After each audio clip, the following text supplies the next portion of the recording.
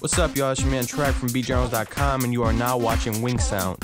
In this tutorial, we'll be covering how to multi-output on your VSTs to different channels. To demonstrate, we'll be using Sample Tank 2.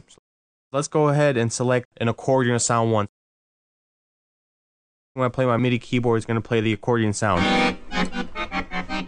Okay? Now, for channel 2, let's go ahead and select the guitar. So now when I play, my MIDI keyboard is still playing channel 1. So the way to get around this is you want to go ahead and click your wrapping settings up here in the corner.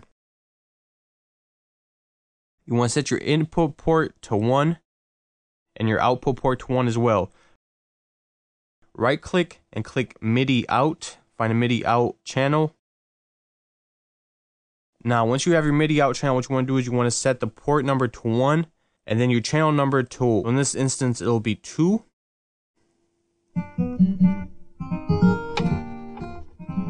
And allows you now to control that actual channel. This is how you would just keep going if you want to load up different instruments. And for each instance, you want to just clone your MIDI out and then just select the channel that you're trying to use.